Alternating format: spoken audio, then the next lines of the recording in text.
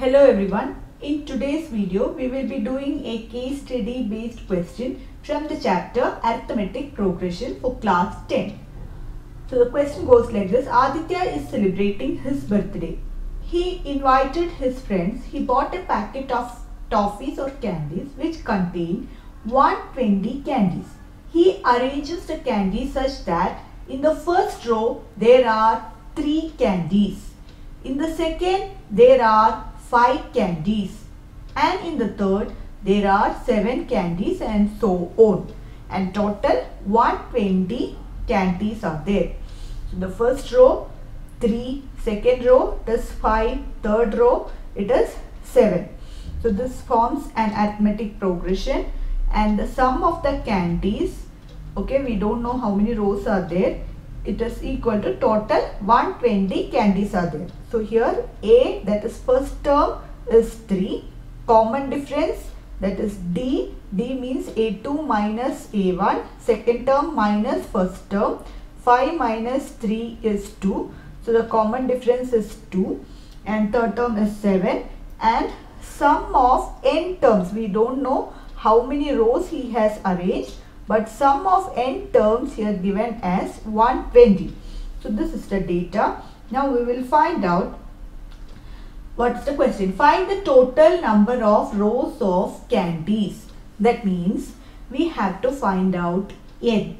How many rows he has arranged. So we can write the formula Sn equal to sum of first n terms of AP equal to n by 2 into 2a plus n minus 1 into d. So total 120 candies are there. How many rows he has arranged we don't know that we have to find out. So n we have to find out n by 2 first term is 3 again n minus 1 common difference is 2. So 120 equal to n by 2 into 6 plus n minus 1 into 2. You can take outside 2. So 120 equal to when you take outside 6 plus first open the bracket 2n minus 2 okay so which is equal to 120 equal to n by 2 into this we can write as 6 minus 2 is 4 4 plus 2n so 120 equal to n by 2 I'm going to take outside 2 which is equal to 2 plus n. So if you take outside you can cancel this. Now this forms a quadratic equation. 120 equal to 2n plus n square.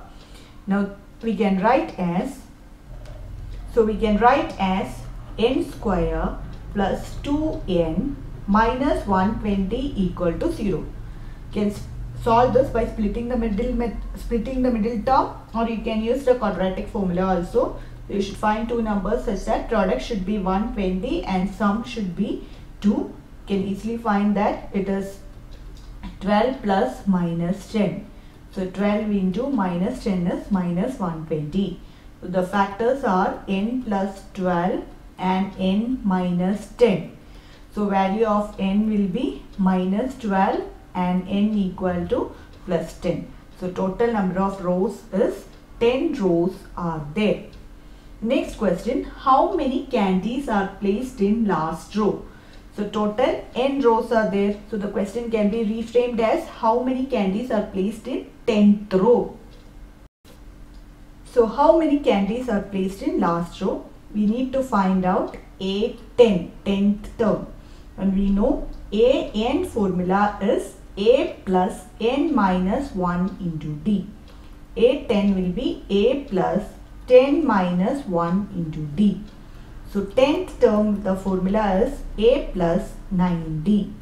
So we know a is 3, d is 2. So 3 plus 18. 10th term will be 21. So 10th term is 21 21 candies are placed in the last row. Next question. Find the difference in number of candies placed in 7th and 3rd row. That means we need to find A7 minus A3. A7 is A plus 6D. A3 is A plus 2D because the nth term formula is an is a plus n minus 1 into d. If you want seventh term, put 7 in the place of n. So it is a plus 6d minus a minus 2d. a and a cancel.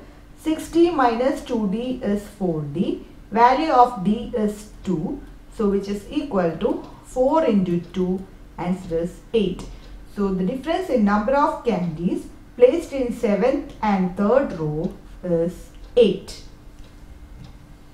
Next question. If Aditya decides to make 15 rows, then how many total candies will be placed by him with the same arrangement? So meaning of the question is we have to find out S15. So total number of candies that has to be placed in the 15 rows. So it's S15. We know Sn formula is n by 2 into 2a plus n minus 1 into d. So S15 equal to 15 by 2 into 2a plus n minus 1 into d. n is 15. We can write 15 by 2 into first term is 3. n is 15. 15 minus 1 and common difference is 2. So 15 by 2 equal to 15 by 2 into 6 plus 14 into 2. So 15 by 2, 6 plus 14 2s are 28. So we can cancel this 15 by 2 into 34.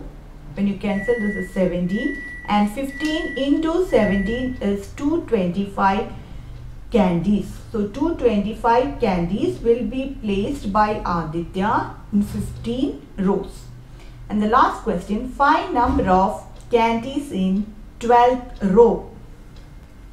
So number of candies in 12th row is A12 equal to A plus n minus 1 into D, A plus 12 minus 1 into D which is equal to a plus 11d. Again first term is 3, common difference is 2. So 3 plus 22 which is equal to 25. So number of candies in the 12th row is 25. So in today's video we have seen a case study based question from the chapter arithmetic progression. So here mainly we have used two formulas. First is nth term of AP that is a plus n minus 1 into d and the next one we have used is sum of n terms of AP which is equal to n by 2 into 2a plus n minus 1 into d. So thank you for watching my video.